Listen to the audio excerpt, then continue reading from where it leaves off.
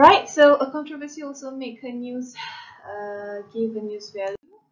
And then we have uh, prominence. Prominence is uh, if a prominent person in, involved in any event. So, yeah, for example, like uh, if that someone is someone, is somebody, right? For example, that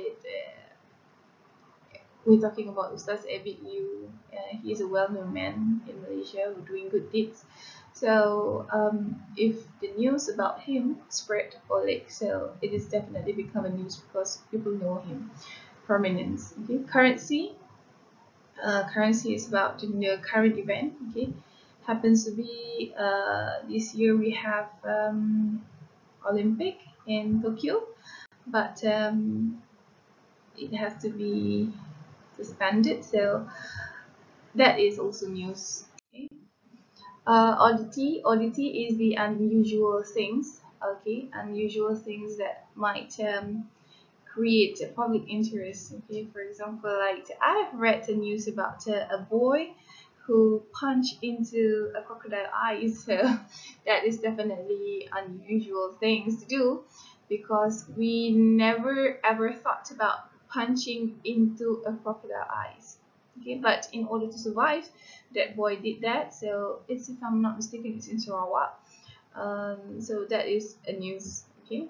And then we have emotions okay. Stories who have um, emotions of human interest that will be uh, make a good news item. For example like um, uh, helping the poor people or um, we have we even providing uh, lunch or giving we're donating for the frontliners. So these kind of stories that have human interest are going to be a good news item usefulness okay usefulness uh, for example that you're sharing informations about uh, how to how to prevent coronavirus by um, washing your hands regularly using hand sanitizer wearing masks so that kind of things the usefulness will help the public in various ways so that is also become the news okay last but not least, number 10 is educational value. Um, quite similar uh, to the usefulness because educational value, we have an education values, for example, that um, in the uh,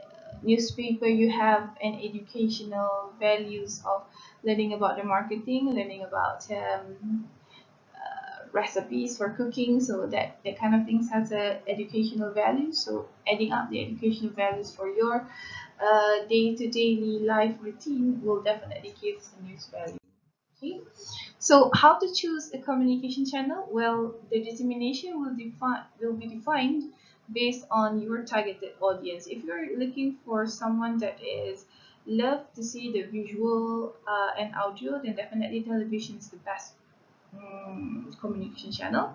So you know that you should invite not a reporter, but you should invite a journalist with the uh, cameraman or video man okay so okay this is actually which of the communication channels that you you should choose okay?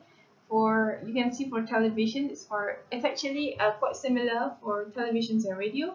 Instead of that uh, number two the, uh, the TV will provide a clear visual and audio explanation while radio only uh, audio explanation. Um, television directly from sources same goes to the radio but radio only available in certain area uh, both of these can be delayed or can be on time on certain news and feedback.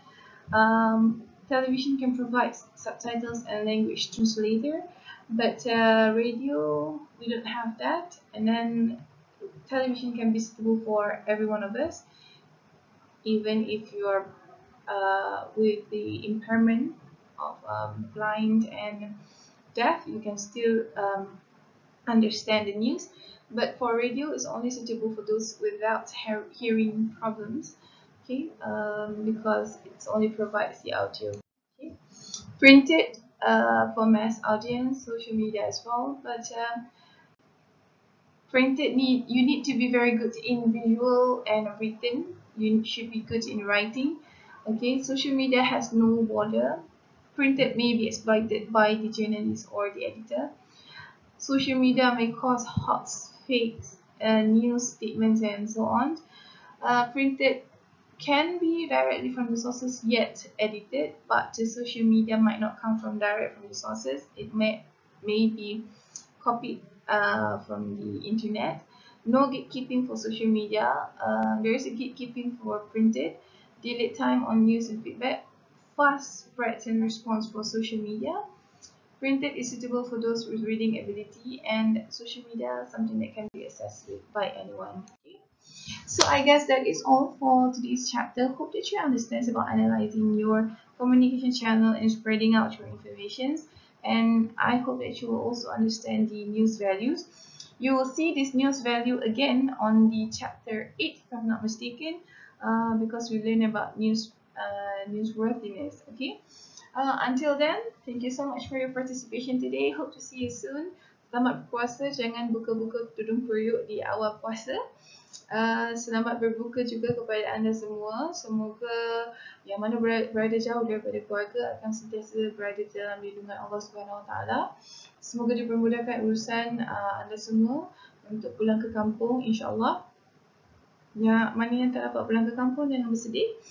Uh, Allah telah menyediakan satu persediaan ataupun satu perencanaan yang baik untuk anda. Bersangka baiklah kerana hanya dengan bersangka baiklah kita akan mendapat perkara-perkara yang baik insyaAllah. So, um, that is all for today. Uh, see you guys on the next class. Assalamualaikum warahmatullahi wabarakatuh.